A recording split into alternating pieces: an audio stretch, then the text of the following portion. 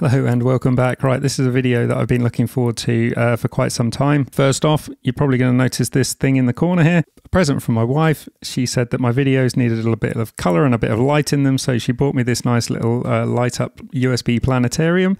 So what I've done is I've put it in the video, and what you can see is this cable's coming out here, and I'm making use of this nice little USB hub that we've got in here to power it. So it's even being powered by the Eurorack. So thanks for that, um, and I hope it brightens up the video. Right, so what's this video about?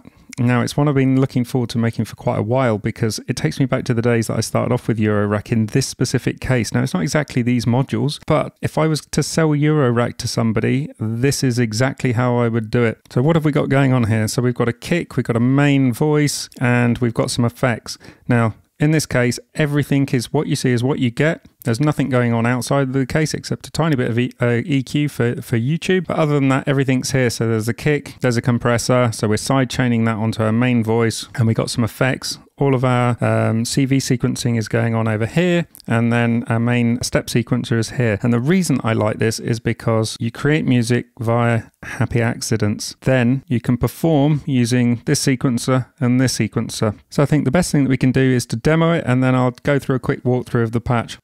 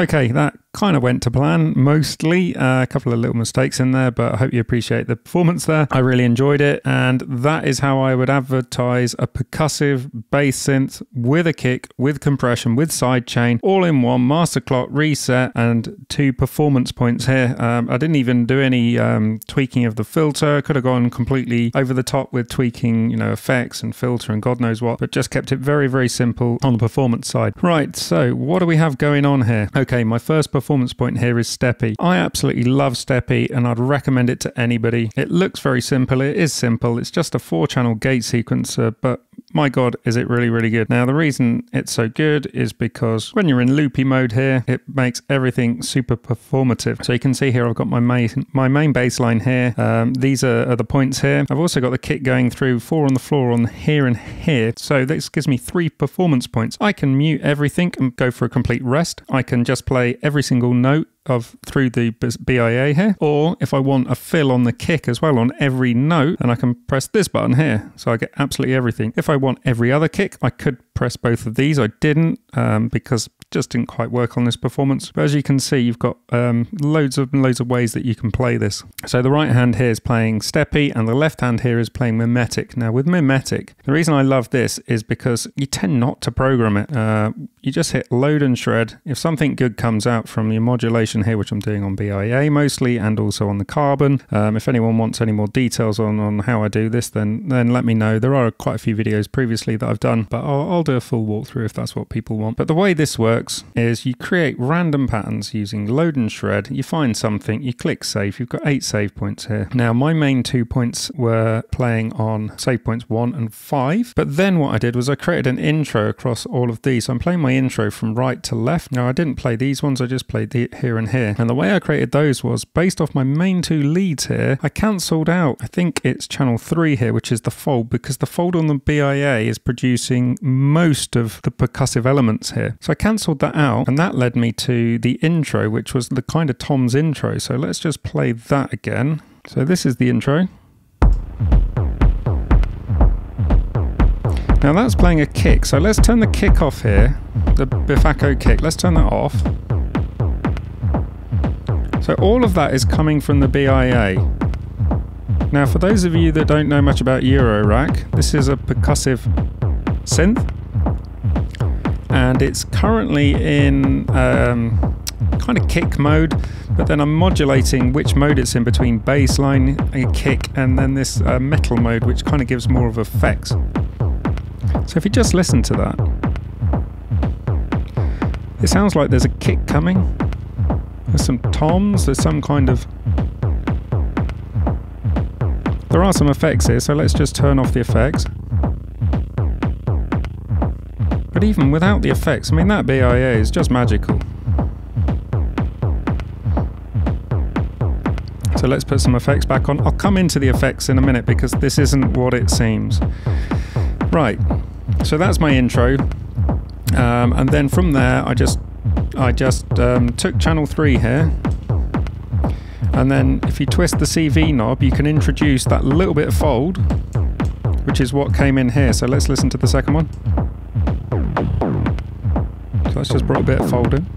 And all I did was just introduce gradually more and more fold into these save points for the intro. So let's go to the next one.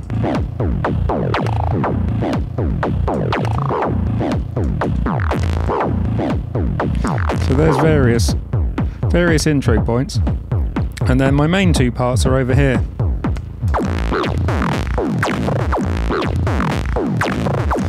And then we go to the B section.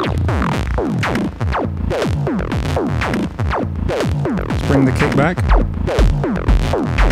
And that's not the best kick, to be fair, it's a bit muddy, but it's the smallest kick I've got. It's not something, I don't get on very well with it, but for purpose of this demo, I wanted to have a kick in the case so that everything goes in the case.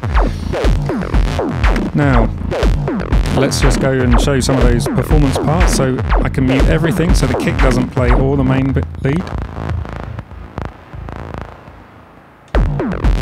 Or I can mute the kick and just play the BIA on every note here, which is what I was doing as the uh, fill gaps between switches.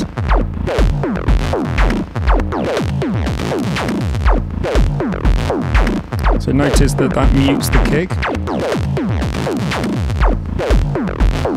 And then if I want to fill with the kick, so then I'm using those fills to then switch between these two parts. So let's just do a switch.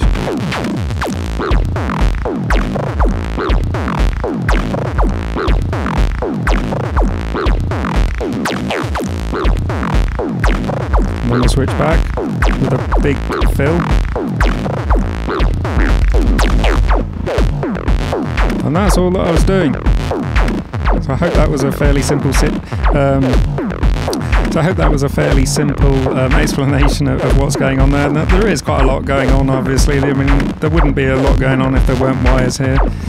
So what can I show you? So let's go so let's take out the fold.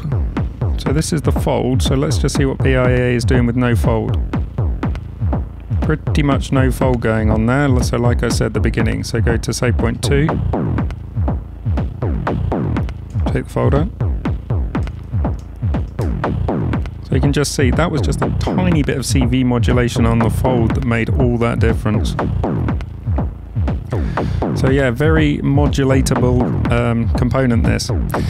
So to sum it up, if I'm selling Eurorack to somebody um, who's quite well musically inclined but has never thought about Eurorack, this is how I would do it. Get a small case, create a mono synth, but don't just create a copy of your regular synth. What you need is a percussive voice preferably a kick. Got a compressor here to sidechain it against, an effects unit, some CV modulation, and a gate sequencer. The rest of this case, so we've got a clock and all I'm using PAMS for is a clock and reset, but that can be used for more modulation as well. And the beauty of this case is you get a couple of mults built in as well, also, if you have a MIDI interface here, you can MIDI uh, sync this off to an Ableton clock if you if you've got more, if there's any more that you want to want to do. But yeah, that's how I would sell this case. Um, this is an output module. Obviously, you need an output to convert to line. I'm not using this because this one cable here and there's another cable from the kick as well they're going off to uh, expert sleepers es9 audio interface just so that i can send stems out to ableton and record this for you guys in something that actually sounds half decent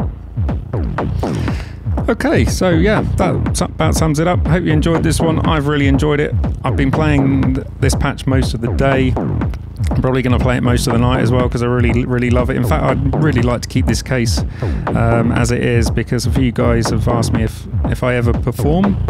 The answer is no, but with a case like this and a setup like this, I could probably perform this for like 15, 20 minutes and really enjoy it. Okay, so yeah, that's the end of this video. Hope you enjoyed it. If you have, give me a thumbs up. Um, always nice to get appreciation, and the algorithm loves it. Um, if you're new to the channel, welcome and feel free to subscribe. Click the notification button if you want to be notified. I do put these videos out usually around about once a week, sometimes twice a week, but I occasionally take a couple of weeks off. So don't think I've died if I haven't produced one for a couple of weeks. I did get a few um, messages from people thinking that there was something wrong, but no, sometimes I just have to take a couple of weeks off, a bit busy with work. Okay, so thanks a lot, and I'll just play this out for a bit, and I'll see you in the next one.